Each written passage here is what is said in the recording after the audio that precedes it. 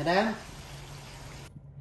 Kita lap rambutnya menggunakan handuk sampai kondisi rambut itu kurang lebih 70% kering ataupun 80% kering setelah kita menggunakan sampo.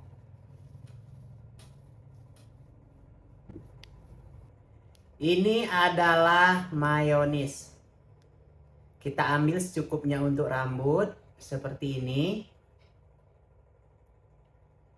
Aku rasa ini untuk selanjutnya tinggal kita ambilkan aja seperti ini.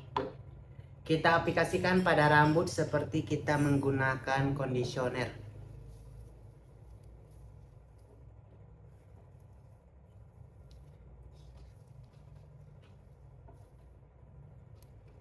Kita ratakan kalau masalah merek mayonisnya bebas mau pakai dari produk apa aja, yang penting mayonis guys ya. Hmm, aromanya segar. Kita ratakan pada rambut sampai semua helai rambut kita itu ataupun semua batang rambut kita itu teraplikasikan oleh mayonis yang kita gunakan. Sambil kita beri sedikit pijatan agar menyerap ke batang rambut ataupun ke akar rambut kita. Kita pijat-pijat seperti ini.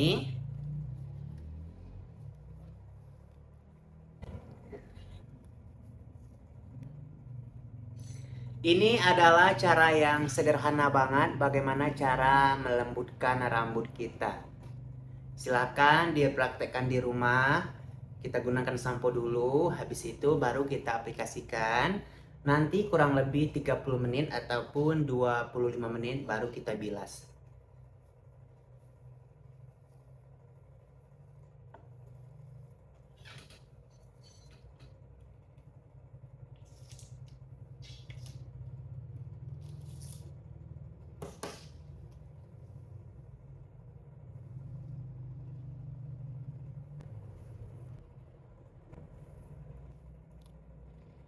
Kita sisir dengan rapi. Tinggal kita tunggu aja. Nanti kalau udah waktunya kurang lebih 30 menit, baru kita bilas menggunakan air.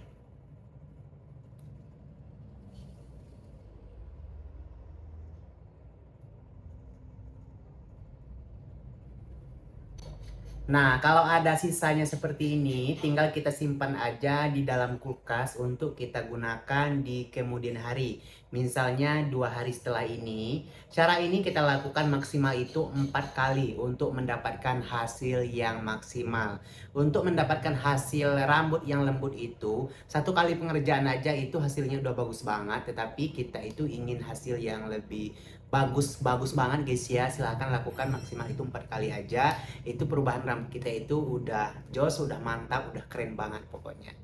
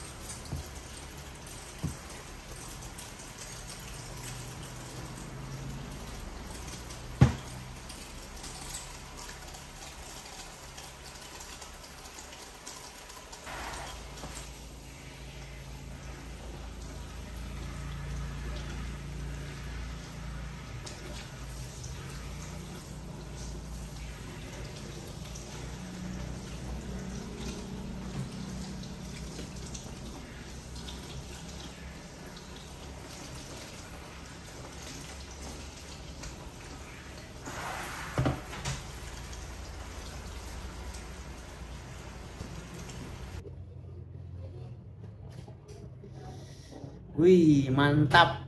Dan untuk selanjutnya tinggal kita aplikasikan aja vitamin rambut bebas mau pakai produk ataupun merek apa aja yang penting vitamin rambut ada gitu guys ya. Nah, Setelah kita menggunakan treatment menggunakan mayones tadi, boleh kita cuci itu gunakan sampo sedikit aja bisa, tetapi jangan terlalu banyak, gunakan sedikit aja untuk menghilangkan aroma mayones yang kita aplikasikan pada rambut tadi. Jadi gunakan sampo sedikit aja kalau risih, tetapi kalau nggak terlalu risih, nggak usah gunakan sampo itu juga bisa gitu guys ya.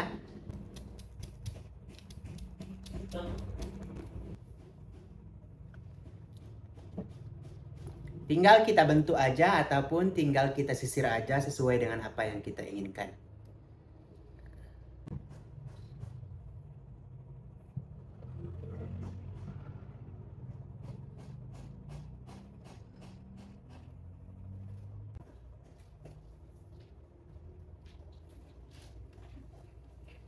Nah, oke okay, para sahabatku semuanya, mungkin video ini cukup sampai di sini. Semoga bermanfaat dan semoga juga wawasan kita bertambah tentang rambut kita sendiri. Wassalamualaikum warahmatullahi wabarakatuh. Sampai jumpa di tutorial saya lain hari. Goodbye, dah.